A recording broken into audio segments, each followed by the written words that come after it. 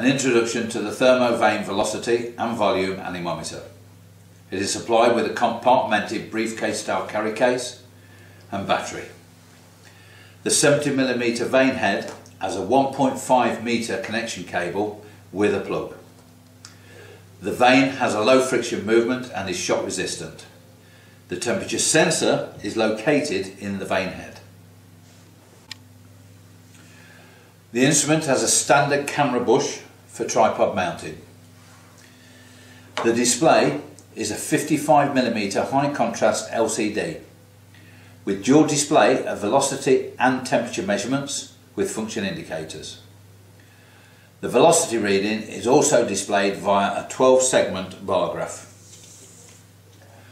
The velocity measurement range is from 0.3 meters per second up to 45 meters per second with a resolution of 0.01. It also offers selectable readings displayed in feet per minute, kilometers per second, miles per hour and knots. The volume measurement range is cubic meters per minute or cubic feet per minute. The temperature range is from minus 30 degrees up to 60 degrees C. Temperature measurements can also be displayed in degrees F. There is a data hold function.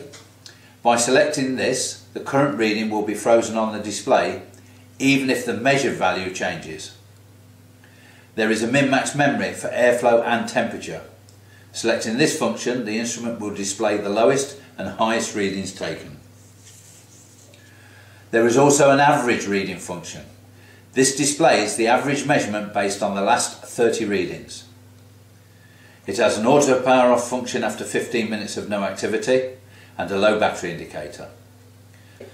This instrument has a two year warranty.